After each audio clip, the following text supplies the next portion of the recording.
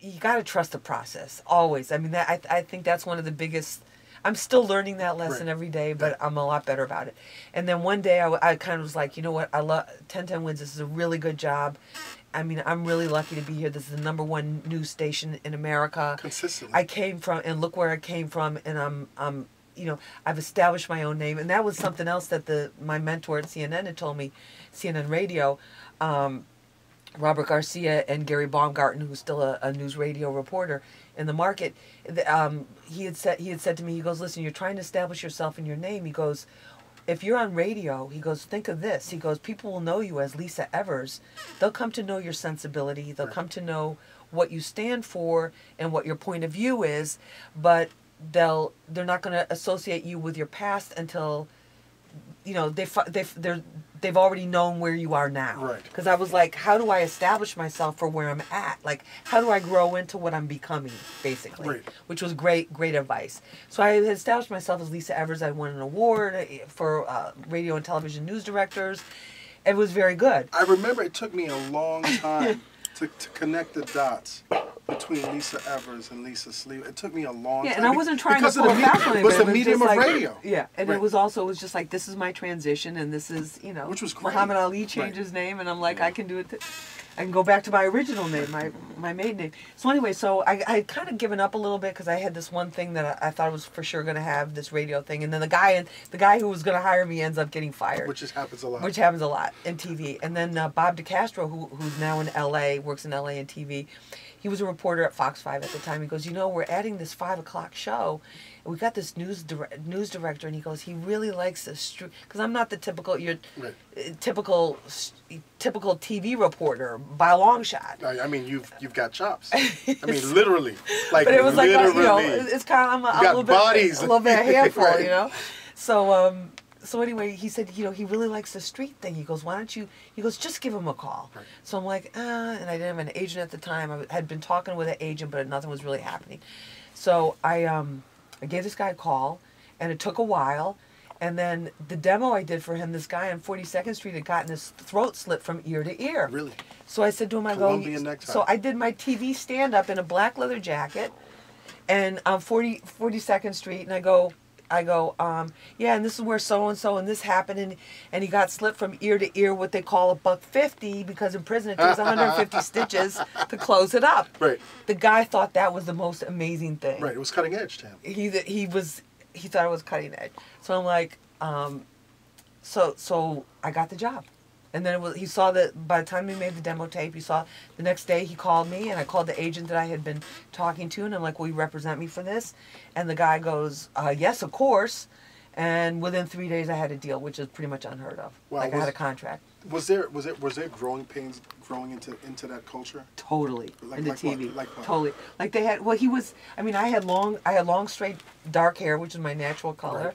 I had bangs. Yes. Um, I was used to being out in radio, like like hip hop, like hip hop. There was no, you know, we weren't videotaping the shows. Right. There was no people weren't.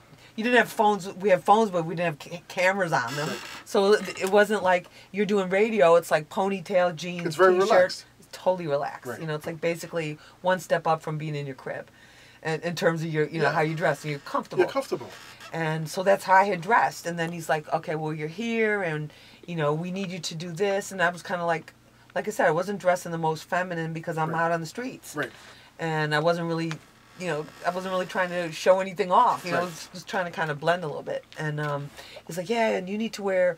Uh, yeah, you need to dress, you know, more form fitting and this. I'm going to get you a stylist, and we're going to do And what do you- this. what do you He think goes, I didn't this? hire. He's like, I didn't hire Cher's daughter.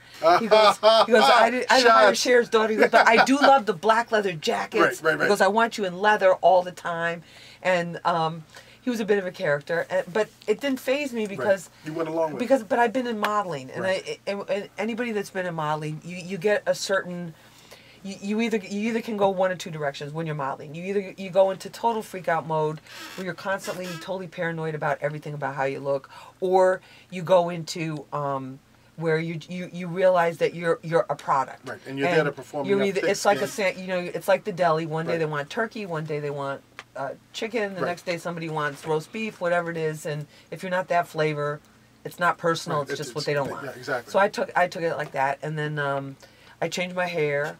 I changed you know changed the style of dress a little bit, and um, that that was it. And here you are. Yeah. Here- So you now we're in 2015. Yes. What are some of the things you want to talk about? You said you had so many things to talk Well, I about. think I think 2015. I think this is a tremendously exciting time for for hip hop, Okay. and there there are people, and I'm sure you've interviewed them or talked with them, and hear that hear it too, and they're like, oh, well, you know, the 90s that was the golden era of hip hop. I think 2015 is a golden era of hip hop. I think so? because I think I think that the tremendous creativity. I think the international platform is huge, and I think that hip hop can be a tremendous force for change. We started in 2011 what I call what we call Push for Peace with Cory Booker Yes. in Newark. We've done the last last two years, we, which we're going to do now annually, um, thanks to Eric Adams, in Brooklyn. The the push for peace. We've done it in the Bronx. We've um, you know, and it's it's a concept where we basically want to take this hashtag, push the number four peace, and have people just start using it and in their in their posts on Instagram and their posts on Twitter, posts on Facebook, and let's just put let's just put the idea out there. It's like it's a choice we can make. We can choose to be peaceful and not just not I'm not just talking about the gun violence that we have that still plagues us, even though the murder rate and the crime rate overall is down. Right. But just eh, but even the violence, like when you see somebody and and we've all seen this, you know, you see somebody being being really really horrible to their child in public. Yes. Mm. And it's like, well, I'm not telling you how to discipline your child, but you're why humiliate them in front of everybody else? You know, it's like Where are you in your life that you yeah, have to do, do yeah, that do we need to, such a- scar that right, child? right. So it's like push for peace, or it's like, and just even when we're dealing with each other, it's like, do we need to be that harsh? You know, is it is it like at that? And I, and I really kind of started looking at that concept, and I'm just like, this this is something hip hop. We have the power to do this. You know, we you look at the, the different trends in hip hop now, and the the way the music is, and you, the way it's now acceptable for for big name artists who are platinum selling Grammy winning artists to, eh, who are real quote unquote real men to talk about their feelings. Mm-hmm. You know, so it's like, yes, we can acknowledge it. You're a real man. You're a real man if you're a whole man and you're acknowledging your feelings. And don't we all feel better when we're at peace? I mean, I hear these stories. I mean, I interview these people, interview these these guys at, that you know age 11 is when they first joined a gang and then it's a life of stress by the time they're 19 they're so burnt out it's like they've been in living growing up in afghanistan Right, right, right. PTSD. you know is- yeah PD. and What- it's real How do you feel though about the? It, it seems pretty stagnant, particularly in hip hop, um, with regard to the role of women and the imagery of women and the roles that women play in hip hop. You know, I just did a story on that for Fox Five, with the with with women in hip hop, Mm-hmm. and I and I think there's I think there's tremendous room for improvement. So I think there room, needs to be right. much more of women's voices, but I also think it reflects where women are right now too. I don't think I mean if you're a stripper and that's what you want to do, I think that should be your choice. I'm not one of these women that says, you know, everyone's got to get a college education or everyone has to, you know, wear a skirt, a pencil skirt, and work in an office. You know, it's it's it should be a woman's choice. Right. But I think also, I think for a lot of a lot of the young girls now, there's a tremendous amount of confusion too. It's like Particularly with technology and, and with technology and the Instagram models and the whole the, the way to get the- validation through your sexuality. yeah, the way to get imagery. attention. Right. And and hip hop gets blamed for a lot of that, but I think a lot of it is is our broader culture. It's, it's And- society as a whole. yeah, and the, always and the uh, whole social media thing right. makes it so much more instant. But you have like I had a teacher, um, we had, we we had a teacher uh, that was on Street Soldiers on Hot ninety seven not too long ago. He was telling me they're dealing with six. Uh, uh, sixth and seventh graders making sex tapes on their phones because Oh, this is the way to get attention. right, right. So I'm like, it, it, I think, and I think also too for parents, you know, I, I, don't- I don't believe in the blame game because I don't think it gets us anywhere. I really don't. You know, you know that old saying that that, that they, they always have is like you're pointing a finger, you got four, Four pointing pointing back, back at you. right.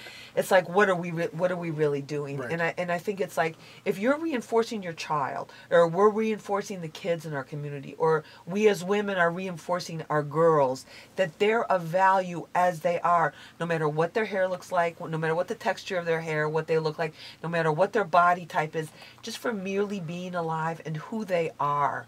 That spirit, that human spirit that they have, they're of value. These things aren't going to be as big an issue, you know.